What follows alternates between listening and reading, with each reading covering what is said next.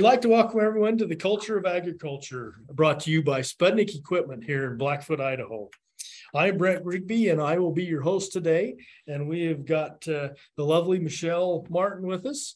Uh, she does Ag on Wheels and also has a, a magazine that you're doing. I think I think I'll turn the time to you a little bit to kind of give us an outlook uh, or an explanation of all the things that you do and some of your hobbies, and and that'll get us started.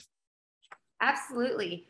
So, uh, like you said, I own, my name is Michelle Martin, and I have a show called Ag on Wheels, and I also have an agricultural publication called Ag Mag.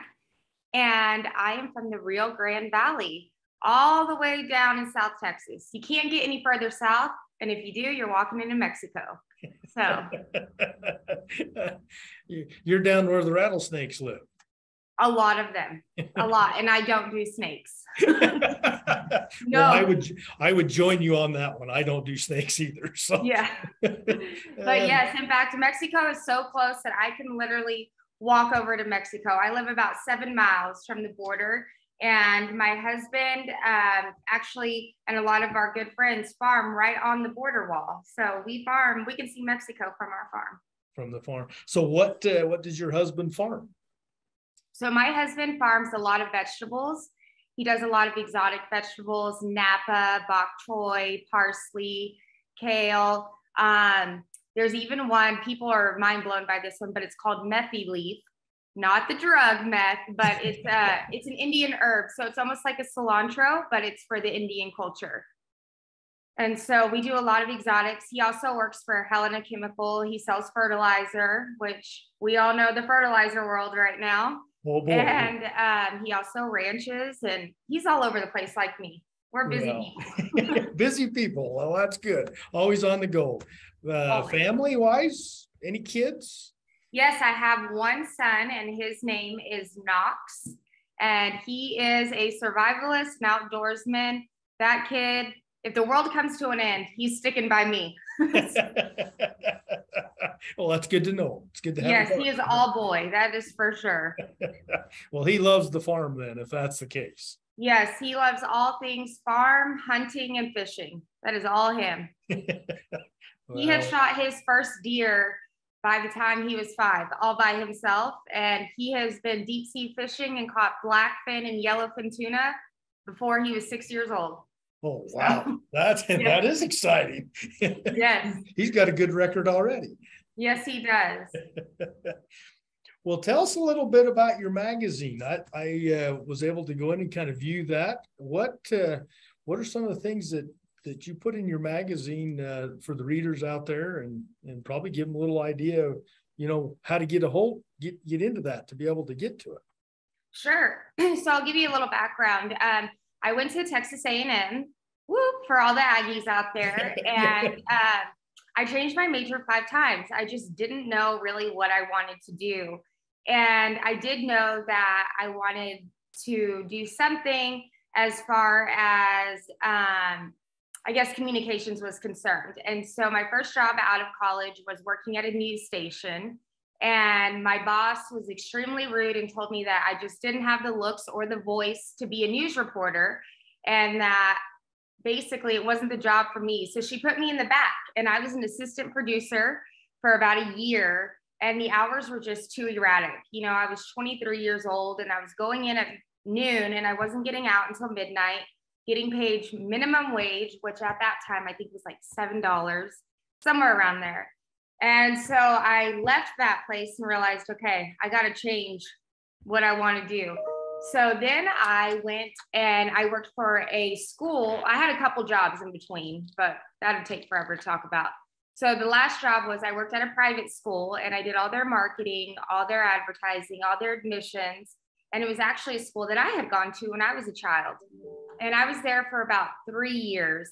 And about the third year, there had been some stuff that had happened that just made me extremely unhappy.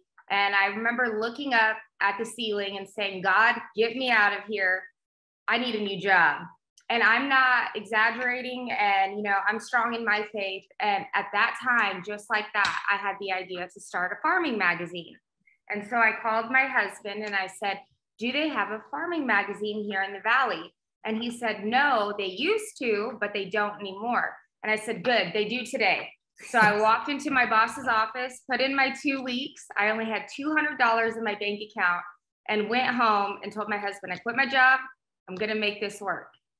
And as you can imagine, he was not happy because we were in no financial position for me not to be able to work. and, so, and we had just bought a home. So he was not happy with me.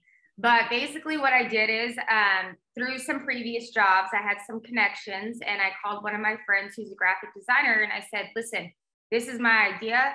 You want to jump on board? And he said, Sure, not a problem. So I went on Google, got all these fake you know, not fake, but all these already published articles.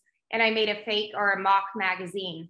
And then I had my husband drive me around to all the agricultural businesses and ask several people, this is what I'm going to do. This is an example. Will you invest in me? I had four advertisers. I only had four people say yes. And I went to probably 25 or 30 people. Oh, wow. and so my first magazine that came out in 2000, I believe it was 2014, was um, only 24 pages, all articles, and only four advertisers. And then by the second one, it it just skyrocketed. I guess people um, just I found a niche. People were extremely supportive in the agricultural community, and the rest is history. And here in September, we will be starting our 10th year. Oh, man, that's exciting. That's uh, yeah. Some... Well, ninth year. I'm not good at math. Ninth. Ninth, yeah, ninth year. ah, next year will be the tenth year. It's coming. Whatever. good articles you don't have to count. See that? yeah. And then, like as far as I know, you said like what what articles and whatnot are in there. So mm-hmm. basically, I wanted to bring awareness to agriculture. I feel like there's such a huge disconnect between the consumer and the grower or anyone that's involved in agriculture. And so basically, the magazine covers all aspects. We're going from farming, we're going to ranching, we're covering the 4 H and FFA for the kids, and we're covering a lot of the legal stuff like the farm bill and you know any scientific new findings any new fertilizers. I mean you name it i try to put it in there. Well very good information to the grow for the growers and like you say the community.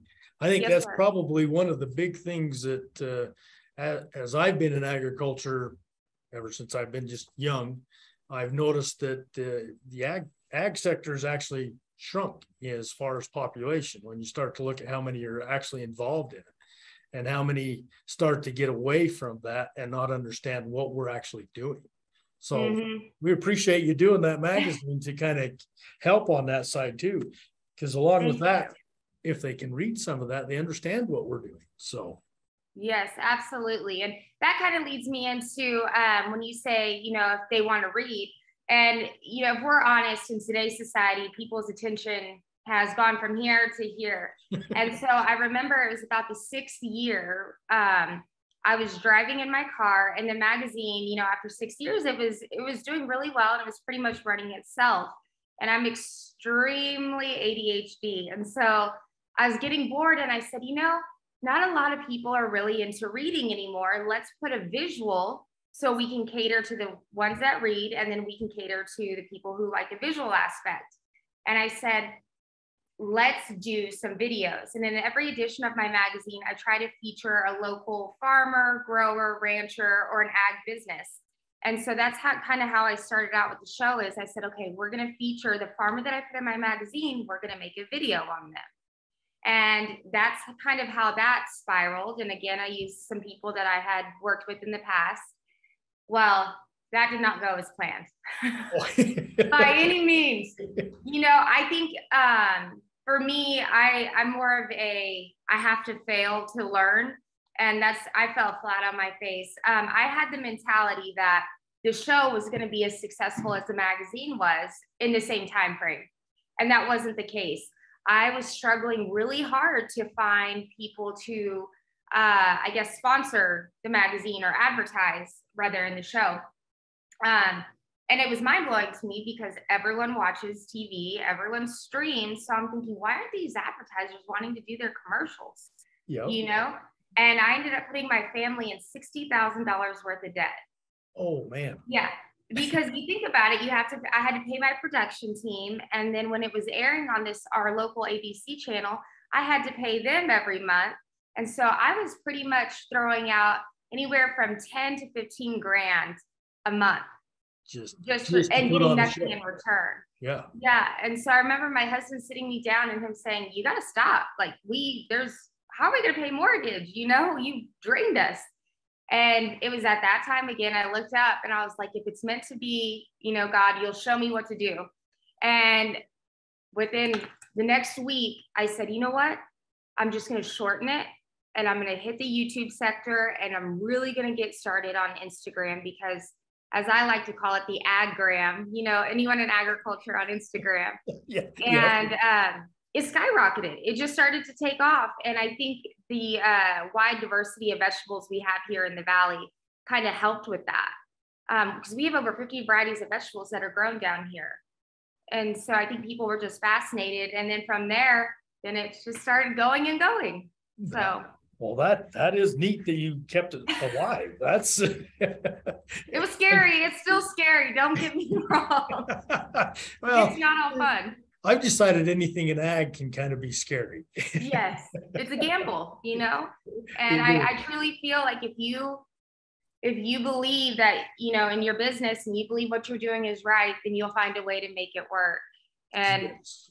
i've gone through a lot you know when i started the show my mom passed away i'm an only child my parent my dad passed away a long time ago so my mom was my last living relative and she died while i was pregnant with my son i'm trying to run these businesses and it was a lot i mean Yeah, and to have, and then to have things not kind of falling into place the way they need to be, so. Uh, it's, it, it comes back to, you need to stick with some things and work through it. And- Absolutely. Yes, absolutely. And I'm just so passionate about it. I knew I couldn't stop. I knew I had to just keep going. And, you know, through all that turmoil, they even told me my son had leukemia at one point, which he did not. That's its own story. But there was all these things that are happening. And it's like you can either stop or you can keep going. And I decided, you know what? I love agriculture so much. And without anyone involved in agriculture, we're not going to have much, you know? And so we need to bring awareness to that. And so that's kind of what kept me going through it all. Well, and that's great. That's a great story to give somebody else also the opportunity to know if they're not, if everything's not working quite right, you can still make it work. Yes, you can. You just got to be patient and you just got to take a different route. You do, you do. And, and you know, that's what, I- that's what I always have said. It's interesting about the agricultural world. Is it seems like when we come up against something, which seems to be, you've heard the common phrase, oh, you know, we'll get back to a normal year. I don't know that we ever have a normal year.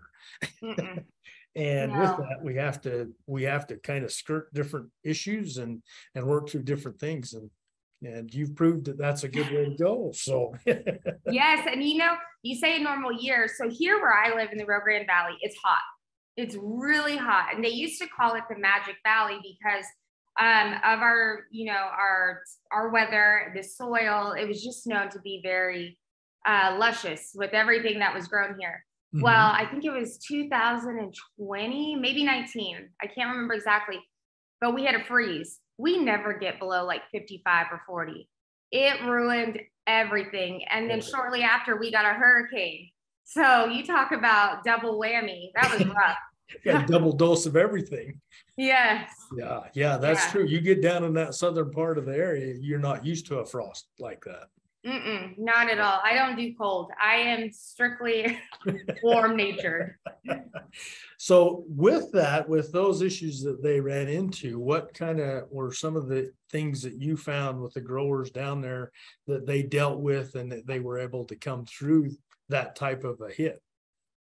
you know there's it kind of reverts back to what i was telling you about my story is they just kept going you know a lot of these vegetable growers down here a lot of vegetables are not insurable. And so they didn't you can't get insurance on them so what can you do? You know you just got to dust the or brush the dust off your shoulders however that saying goes. And that's what they did and kind of found a new path and picked up where they left off. And now things seem to be going good. And as far as like the citrus whenever we got that freeze and that hurricane, it affects the bloom for next year. So although they had lost the crop or the majority of the crop the year prior, it still affects the year coming forward. And it takes about three to four years for it to recover. To get that back. Mm-hmm. And so basically, I mean, what can you do? You just got to keep going. Yeah, that's and that's a pretty good hit when in today's agriculture where margins are tight. Oh, very tight. yes. So, yes, sir. What uh, give it maybe explain a little bit on the ag on wheels. That's probably i've looked at that uh, with, okay. with, where you go out and you visit different areas and different growers and and uh, kind of share different aspects of agriculture. Sure. So with the ag on wheels like i said i just came up with that idea you know as i was driving.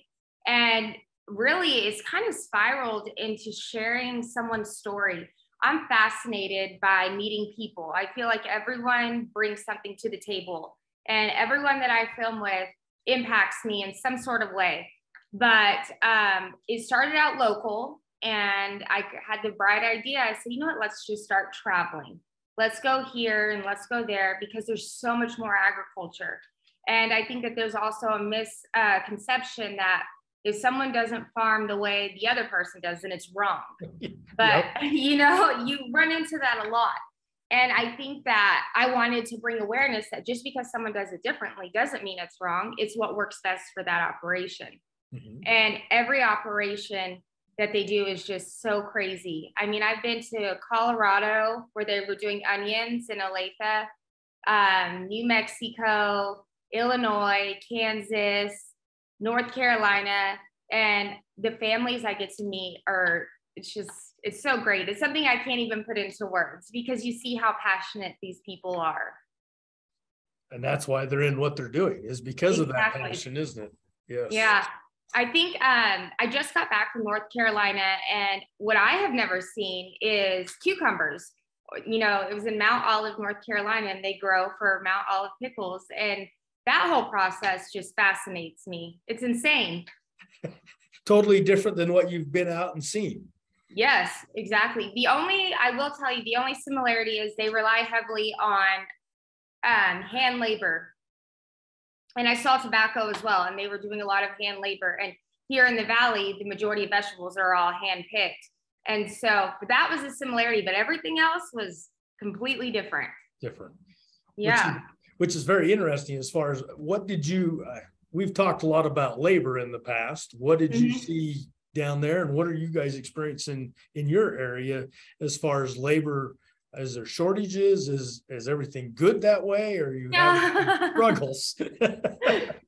Okay. So this is a trick question because i don't i want to play neutral here you know but um so living so close to the border it really labor has never been an issue for us. Um, and a lot of the workers, you know, they would come over for the day, they would work, and then they'd walk right back over or, you know, go over. Well, here in the last couple years or so, we've noticed a dramatic change because of our administration. So these people are coming over and they're not wanting to work. And then the ones that were working and were doing it the legal way, so to speak, um, they're upset and now they don't want to work because you know they invested all this time and money to do it the right way. And so it's becoming extremely hard. It's almost impossible to find a good helping hand. And so we might have to participate in the h2a program which we've never had to do uh, living so close. And it's difficult because like i said with us growing over 50 varieties of vegetables in this area we rely on labor a lot because we can't use all this equipment because they're so sensitive. And so, what's a farmer going to do? Go hand pick 10,000 acres of his own vegetables? It, it doesn't work that way. And so, it does not happen. no, and I know a lot of farmers who have actually cut their production almost in half because they just can't find the labor. Oh, wow. Mm-hmm. So that's where, you know, we, we need to start coming up with new equipment again, huh? yeah, get on it, man. Get on it. And you know, we do potatoes down here, but there's only like, I want to say two to three farmers valley wide that grow potatoes in this area. And when I did um, North Carolina, I got to see sweet potatoes. which is an interesting crop, isn't it? Sweet sweet potatoes is not quite the same as a potato. That's right. it handles different. It, oh, I that's we we've even kind of played in the sweet potato equipment side a little bit, but due to the bruise and just the way they they handle them so much differently, that's something that that we've got to work on as well if we jump in that one very deep. Yes, absolutely. And you know, that's something with Ag on Wheels that I love seeing is like just all the differences, but really getting to learn more about the crop and how much, you know, like let's say for instance, your company has to know about a crop so you can cater to that grower. And there's just so many little facets and aspects of everything that people just don't think about when it comes to farming. It's crazy. That's right. You, you drive down the road and you look out and you see the combine going or the planter going, and you just think, ah, everybody does it that way. yeah. Because that's the big side. I mean, corn, soybeans, wheat, you know, the grains and stuff like that. There, eh, there's a lot of that being done nationwide. And yes. you get into these specialty crops, and it's uh, it, it takes a lot different mentality to kind of think through that as well and also there isn't stuff just readily available to uh, jump in and say this works and we can make it just go because it, it covers everybody yeah goes back to what you were saying each operation's a little different mm-hmm. Absolutely yeah and here in the valley you know we're year round so you get into let's say the latter part of august in fact we planted early this year but the latter part of august until about april you have all your vegetables and specialty crops. And then we go into watermelons, cantaloupes, and then your row crops, your grain, corn, cotton, all that good stuff. We yeah. are year round. We don't stop. We don't get breaks. that's that's why you have to slip away and go fishing once in a while, just during the week. To, you know. That's right. we all say that. uh, what what you talk about cucumbers? What are some of the other most interesting crops as you went around and visited with uh, growers? What would you say some of the more interesting as far as planting and harvesting and all that kind of stuff that you you've experienced? Well, I will say um, I liked the green chilies when I went to New Mexico. That is something that, you know, you would think living so close to Mexico, we would have that, but we really don't down in this area. So to see that, that was really fascinating. And I think one of my favorite, and it was here local actually, was the sugar cane. And oh. so we have the only sugar mill in Texas in our area. And so I got to see the sugar cane being planted and it's a long crop. I mean, it's in the ground for almost a year. And then I got to see the harvest. And then after the harvest, they took me to the sugar mill and I got to see the whole process of how they make your table sugar. And let me tell you, I will never take sugar for granted ever. I put a whole different perspective on it. Yes, but you know, to see that field, we do burns here still. They were still allowed to do them. So to see that sugarcane field burn is something that I think everyone should have the opportunity to see how quick it goes, you know, all the factors that play into it. You have to make sure your wind speed is fine, the temperature, you know, you can only burn between a certain amount of time. And then the whole process in the mill is insane. Wow. So they burn the field off and then harvest it. Yeah. So basically, what they do is, and here's something interesting is so the blocks are about 30 acres. They're just square acres. I don't think they go more than 40. I think that's the max, mm-hmm. but there's several fields of them. And they'll get this tractor and it has this like torch at the end and they'll play this sound. And there's an episode on it on my YouTube, but it'll play this sound and it says, if anyone's in the field, you need to get out now. And they'll play in English and Spanish. Well, a lot of times, if we have illegal traffic and they're hiding in the field, they think it's just a ploy to get them out. And so we actually have to really look to make sure that no one's in the field. Ooh. And then this tractor goes through with the torch and he lights it just in a square, just like that. And then it all gathers in the middle. And it takes about total 10 minutes and then the field's done being burned.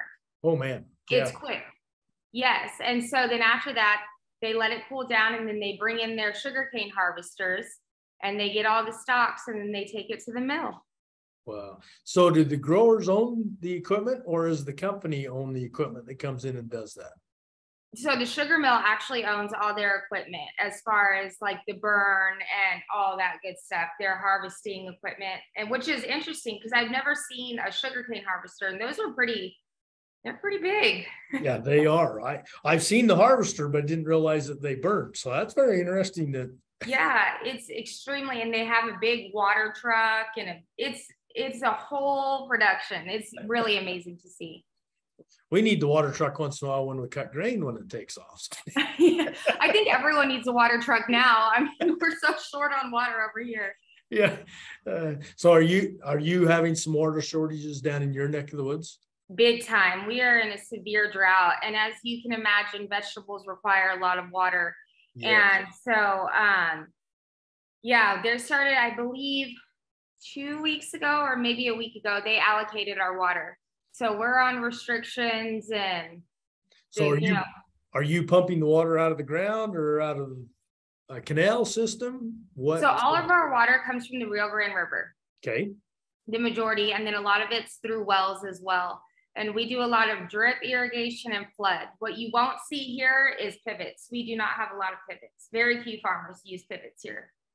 Well, I suppose a little bit of that, that has to do with the evaporation of the of the water trying to get to the ground. Yes, absolutely. And just our soil too. It's just we what works best for us is flood and drip. If you got the money, we use drip. If we if we're short on funds, we use flood. We use the flood there. yeah. Well, that's we we're kind of in the same boat as far as drought wise. Uh, we've been a little short on water here in the Pacific Northwest. And uh, I was just out in the on the coast out in Maine last week, and they're actually a little drier than normal. So they were hoping some rain would come. So it's interesting how different areas have had more more rain and more moisture, and some areas haven't had enough. So yeah, and I hate to say this, and we've all talked about it, and I don't want to jinx it, but we're all saying, "Gosh, we wish we could just have a little baby hurricane, just a baby, you know, maybe a tropical storm." Yeah, yeah. because we we do need the rain. But you know, we work with what we got, and we got some rain yesterday, so we're thankful for that. So that's that is good. That is. Yes. How is Maine? I'm supposed to go to um, Maryland. You say Maine, but I'm supposed to go to Maryland sometime soon, and I'm excited for that one. Oh, Maine's beautiful. I you get out there, and of course, it feels like I keep teasing them out there. It feels like you're uh, harvest, you're growing potatoes in the middle of uh, our our island park, which is more of a you know tree recreation areas. So, and in the fall when you go out there to to harvest, the colors are just brilliant. But uh, that's what I hear. I have to go back to North Carolina in October, and I'm looking forward to seeing the change because we don't have that here. All we have is palm trees. Yeah, palm trees and mesquite trees. but you won't see palm trees out there. no, they don't quite no. make it. So you yeah. know what's funny is we have palm tree farms here, and a lot of these growers who are growing vegetables, they have palm trees in their fields. Oh, it's, oh wow! It's and just it, normal. That's just a normal thing. You yeah. that's very interesting. So yeah. Does, so when you say palm trees and they're grow, are they growing them to sell to like some of them do homeowners or different industry? Yeah, some of them grow palm trees, you know, for nurseries or for mm-hmm. the palm industry, and then others they're just naturally on their fields and they're pretty to look at. yes, they are. I we have to go south to get to that point. yes, you do. Very south. uh, what uh, what are some of your goals? I mean, are some of the, the I guess uh, I'm asking the question, what are some of your aspirations to see or look into the ag deal going forward? I, you've had so much excitement to get here, you obviously because of some of the things that you've had to go through and the work that you've done. What what are some of the stuff that you're kind of looking in the future that you think that that you need to do to kind of help, or what as an ag industry we need to kind of do some things to portray what we're doing and give people an idea of what's happening? Sure. Um, I think that, you know, everyone always asks, what are your goals in the next five years or so be it? Mm-hmm. Honestly, I would like to be at a point, you know, since I'm pretty much self funded, I want to be at a point where I can have a full documentary show or whatnot um, on, I guess, I don't want to say Netflix, but on some kind of streaming service aside from YouTube, um, to really tell the farmer story because I honestly feel that farmers have lost their voice, or anyone, I shouldn't say farmers, but anyone involved in agriculture has lost their voice. And to be able to give their voice back to them, I want to be the vehicle that does that. And in today's society, I feel like even if they do want to tell their story, they might be kind of nervous to do it because of the backlash. And mm-hmm. so I want to be the person that can kind of be their their armor, I suppose. I'll take the heat because I I feel it's so important to tell their story, to let the world know. And a lot of times, like I'll go into our local grocery store and on my Instagram, I'll ask people random questions like, do you buy organic or conventional? And mm-hmm. have them answer and try to educate them because there's so much misinformation out there. And so, in the my goals and aspirations are to be able to become more known, to tell the the story of agriculture, and to alleviate some of that stress that maybe the people of agriculture have you know, and some of that fear and to give them their voice back and to give them their opportunities because it's hard. It's really hard in today's world. Yeah, and I totally agree with that. I I think that uh, in the ag world we're we're working so hard to keep everything flowing and trying to survive on on the side of production that mm-hmm. a lot of mm-hmm. times we lose that sight that we need to try to help everybody else understand what we're doing. I think a Netflix would be really good. you know, you know what's interesting, and maybe your listeners will find this interesting. So, today's world, you have to pay people to air your content. So, for instance, like on our local ABC channel, I was having to pay them, even though I was already paying for the production and everything else. I had to pay them to air my stuff, which I just think is crazy. Yeah. You know, like you're giving them content and if they believe that it's good why am i having to pay yeah. which is crazy but i you know if that's the way it's going to go eventually over the years i want to be in a financial position where i can say fine here take my money but tell this story because it's that important to me so well and i think uh, i think there's a lot of people that would be right on board with you that are in the ag ag uh, population that would definitely want to join in with that yeah absolutely and you know rfd um, the Ranching and Farming Network. Uh, They found me on Instagram, and basically, we came up with a deal where I give them clips of my show, not the whole episode, but clips, and they air it on their market research on Wednesdays on their show.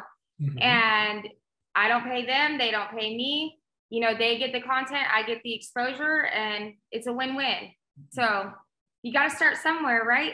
oh yes, you do. Yes, you do. I uh, I definitely think that uh, that's something going into the into the next foreseeable future in ag is is to get that word out. I think the part that you go into the supermarkets and you're starting to see where that produce comes from, uh, being able to to help on that. I think we've got a lot of people working that direction. You know. You know, you say that, and I started something, and we're about to start it back up. It's called Farmer Who, mm-hmm. and we actually started it on watermelons right when COVID had started. So what was that? 2020, right? 2020, yes. Oh my gosh, first time gone.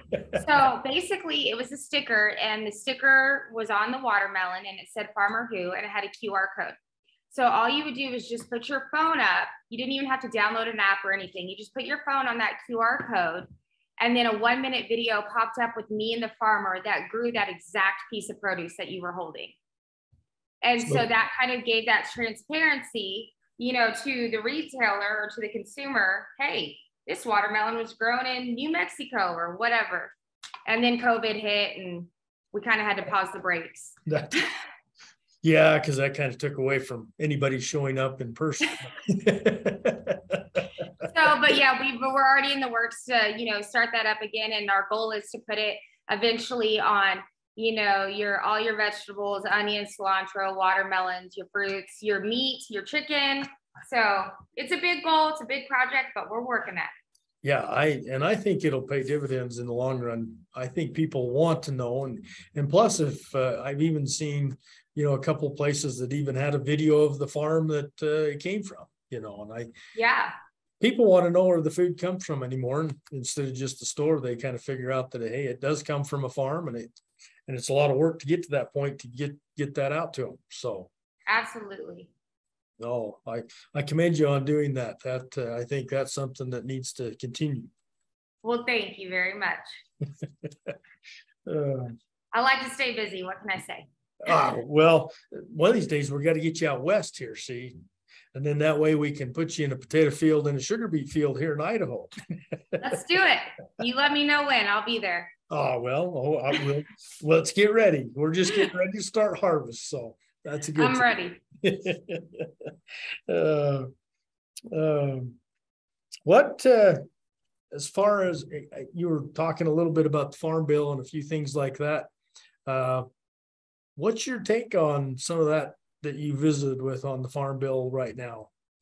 You have any good in- insight or information that you'd like to share that you visited with some of these guys? You know, that's a great question in there. I just think that the government is making it almost impossible for the world of agriculture to succeed. And if you're not born into it or you're not married into it, good luck because Yeah. you're not getting into it, you know, unless a miracle happens. Because the way that it's going, it's getting really, really rough, especially with the water issue and the eminent domain that's going on. It's insane. Yes, well, and, and like you say, the cost of production to jump in, get the ground, get things going, it, it is a, it's difficult. Every once in a while, you will run across the person that has jumped in and, and made it work. Yeah. Not very often.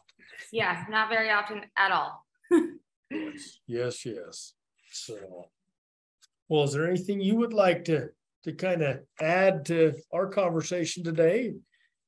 No, you know, I think we we covered a lot. I just think that, you know, I don't know the demographic of who listens to this, but I think that we really need to just bring more awareness to agriculture and we've really got to motivate the younger generation to become involved because I was speaking with an ag teacher this last weekend and he's saying we really just don't have kids who are interested in it anymore.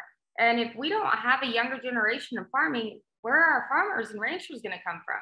That's right. You know, we're not can't we're already one 1.2 or 2 percent of the world. I mean, we can't really afford for it to get lower. No, we can't. We got to start growing it instead of going backwards. yeah. As And we- so I think that, you know, agriculture in general, it's one of the hardest jobs that anyone could ever do. But at the same time, I think it's one of the most rewarding.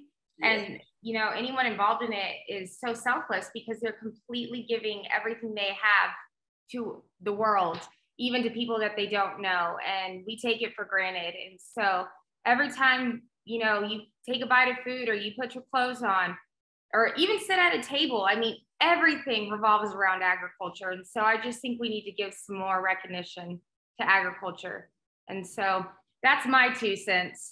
Well, that's a good two cents. We need, yeah, we definitely need some excitement on the other side of bringing in some good young farmers and, and, uh, you know, and, and I, I've seen some, some change a little bit over the years.